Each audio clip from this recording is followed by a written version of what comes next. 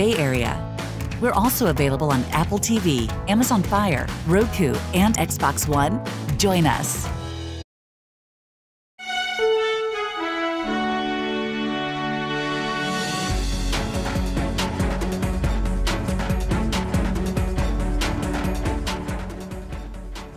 Hello, everyone. I'm Tanya Rivero. Thank you for joining us.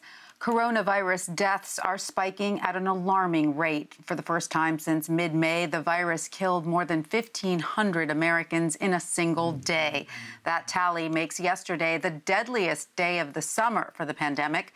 So far, the U.S. has recorded more than 5.2 million cases. The death toll is above 166,000 and counting. Danya Bacchus reports.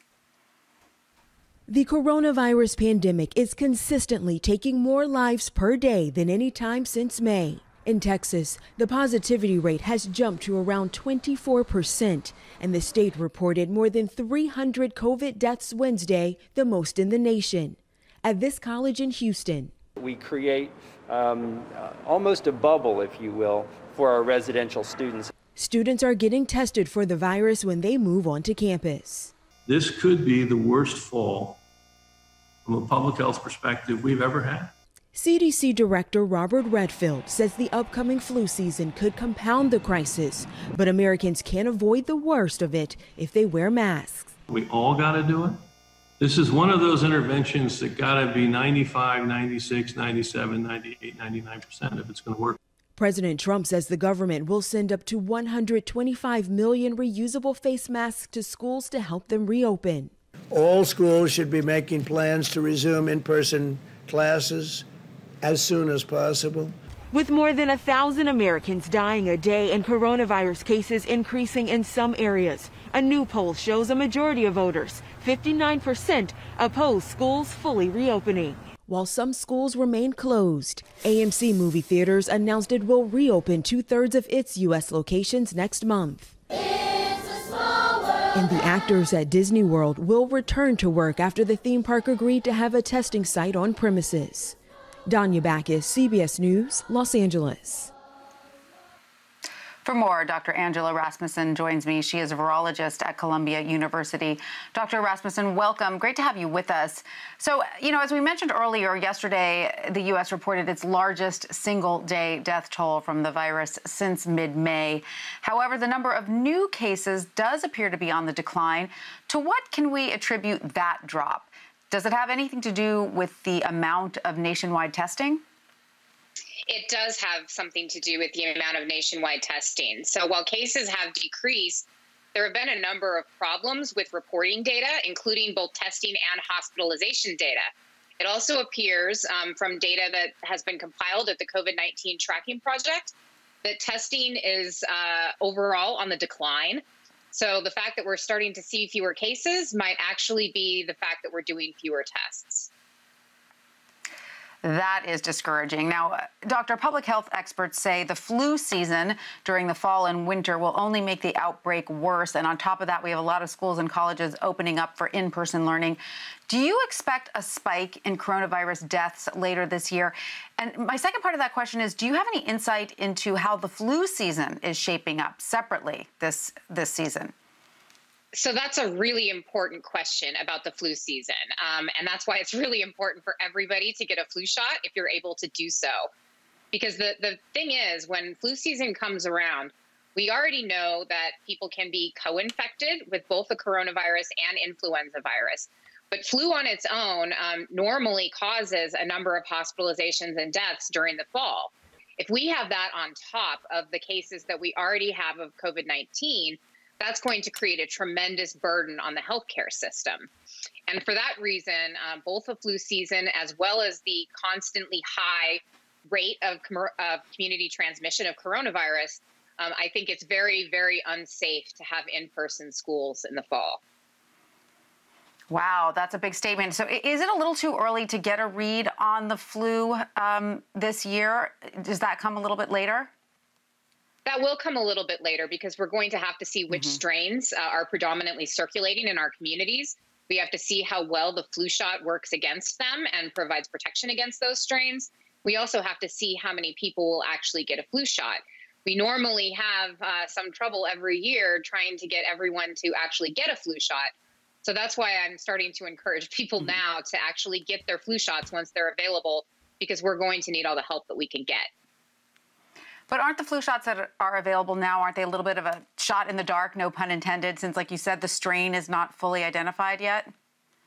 That's correct. And every year that's the case. So we try to guess which strains will be predominantly circulating in the United States based on surveillance data as well as data from the Southern Hemisphere, which has their flu season before ours. So it's always a little bit of guesswork, and some years we get it better than others. Um, time will tell how well we do at predicting which strains are going to be prevalent uh, once flu season actually starts um, for real. Boy, I really don't know if we are prepared for a double whammy of coronavirus and flu coming up. So, when we do finally get a coronavirus vaccine, Doctor, will we still see a large number of Americans dying from the coronavirus? How long will it take to catch up, if you will? It will probably take several months at minimum to catch up. Um, because once we have a vaccine, so that that should reduce deaths. Because all the vaccine candidates that we have now in phase three trials, at least in animals, they appear to reduce the severity of disease. Um, so that will be a major public health benefit. The challenge is really going to be getting as many people vaccinated as possible as quickly as possible. And it's going to take some time to make sure that everybody gets access to these vaccine candidates. And that probably will take months just because it's going to take time to actually manufacture and then distribute those vaccines. And, Doctor, the World Health Organization warned at the beginning of the pandemic about false information circulating online. Have you seen that factor into our country's death toll? Absolutely. Um, many of the, the people who are not taking the precautions that need to be taken to minimize community transmission are doing so because of information that is just plain incorrect. Uh, that, for example, the coronavirus is not very serious or that the death rate is much lower than we know it to be. Um, when people don't take precautions based on a, a false sense of security, um, not believing that the pandemic is as serious as it is, they will put themselves at, at risk of becoming infected, or they are more likely to put themselves at risk of becoming infected. We've also seen people rely on treatments that have either been unproven or are actually shown not to work, such as hydroxychloroquine. Um, many people still continue to advocate for the use of that drug, even though we have no evidence that it's effective at treating coronavirus infection. So misinformation has been right. a huge problem during this pandemic.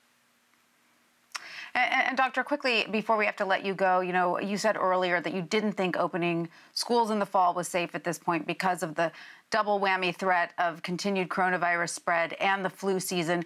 What would you tell parents who are weighing this question right now? They're trying to decide should I send my child back to school? Should I take the online option? Because most schools are offering some version of an online option. What factors would you tell them to weigh in making that decision?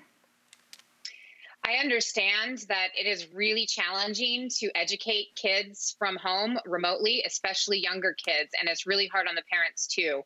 But I would say to parents um, consider whether you value your child's educational life or their actual life um, or your family's life, because that is what is at stake in sending children back to school in person.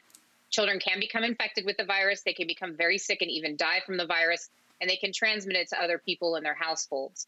So if it's a question between education and your actual life, like that is the decision you need to weigh. Wow. All right. Well, Dr. Angela Rasmussen, thank you so much for joining us and sharing your expertise with us. We really appreciate it.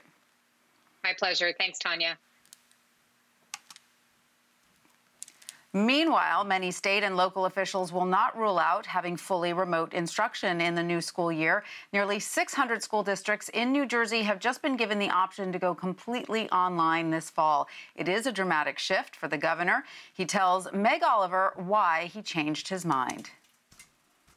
And the last thing we want to do is open a school or a district irresponsibly. After months of insisting all schools return to some form of in person learning, New Jersey Governor Phil Murphy is now changing course. Looking ahead to the fall, what is your main goal?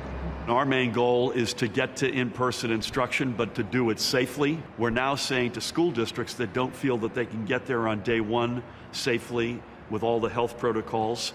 Uh, we're going to work with them to get them there. And yet, he's not ruling out ordering a statewide all remote learning mandate even at the 11th hour. I think superintendents are extremely concerned they're wasting their time developing these No, hybrid not- models. Yeah. No, they're not wasting their time. Even if at the last minute you have to say, hey, we have to go all remote, You just can't take off the table that this thing is going to rear its head, and we have to be prepared for that. English teacher Tom Kita says he's frustrated by